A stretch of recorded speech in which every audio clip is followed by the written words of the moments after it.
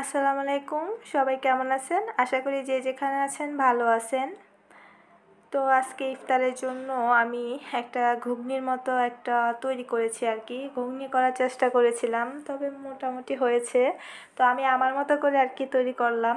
তো প্রথমে আমি ডাবলিটা সিদ্ধ করার পরে চটপটির মতো আর কি পানি ছিল। তো সেটা শুকিয়ে নিছি, সিদ্ধ করার পর ভালোভাবে জাল করে সাথে হচ্ছে টক পানি আর কি তেঁতুলে টক পানি দিয়ে এটাকে জাল করে শুকিয়ে নিছি। তারপর এখন হচ্ছে ঠান্ডা করার পরে আমি এই যে শসা কুচি, তারপর পেঁয়াজ কুচি, কাঁচামরিচ কুচি দিয়ে আর আস্ত জিরার ফাঁকি দিয়ে আর হচ্ছে ধনিয়া ফাঁকি দিয়ে এখন মিশিয়ে নিব। আর প্রথমে আমি বিট লবণ দিয়ে দিয়েছিলাম তো এখন আর দিব না। তো কটা হয়ে যাবে? তো এগুলো ভালোভাবে মিশিয়ে নেব। এটা অন্যরকম স্বাদের হয়েছে আর কি, ঘুগনির মতো হয় নাই, তবে অন্যরকম হয়েছে।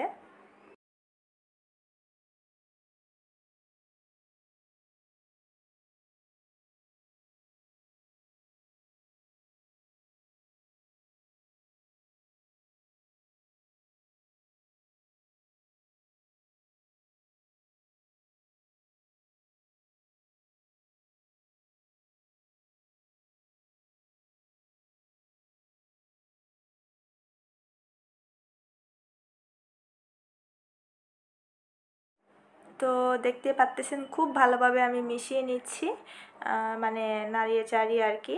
তো ভালোভাবে মিশানোর পরে এটা মানে পরিবেশন করার পালা। তো এর সাথে আমি হচ্ছে আস্ত ডিম সিদ্ধ করেছিলাম, দুইটা সেটাকে হাফ করে মানে কেটে তারপর এটা পরিবেশনের জন্য দিয়ে দিব।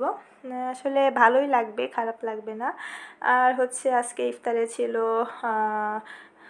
ফল ছিল আর কি, মালটা আপেল এগুলো কেটে নিছি। আর পেঁয়াজও বানিয়েছিলাম, তো সেটা। আর হচ্ছে যে ডিমগুলো আমি কিন্তু দিয়ে দিলাম। তো ভালোই লাগছে, খারাপ হয় নাই, ঘুগনির মতোই হয়েছে। তো সব সময় দেখা যায় ছোলা বোনাই আমরা খেয়ে থাকি, তো আজকে ভাবলাম যে ডাবলি দিয়ে কিছু একটা করি, তো সেটাই আর কি করলাম। ওদিকে শরবতও বানিয়েছিলাম আমি আগে। শরবত ইসুপগুলের বুসি দিয়ে বানিয়েছিলাম আজকে, ট্যাঙ্গার ইসুপগুলের বুসি। তো এই যে আজকে ইফতারের আইটেমগুলো তো সবাই ভালো থাকবেন, সুস্থ থাকবেন। আর এখন যেই দেশের অবস্থা আসলে কখন যে কি হয়ে যায় কেউ বলতে পারে না। কারণ দেখা যাচ্ছে এখন হঠাৎ করে মানুষ মানে চলে যাচ্ছে মানে অবিশ্বাসের মতো আর কি।